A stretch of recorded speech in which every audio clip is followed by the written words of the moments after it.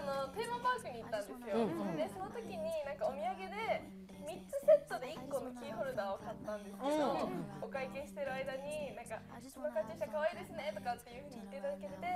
まあ、仲良くなったんですよ店員さんと。すごいなそれはい、それで「おいくつですか?」って言われて、私は年齢を聞かれたと思って「あ17で」って言ったら、なんかその店員さんがすごいポカーンとされてて、今気づいたら、袋の個数を聞かれてたんだなって、帰った後に気づいたの？あそうです。袋有料化されてるじゃないですか、う。ん、17個っていうレシートを見たときに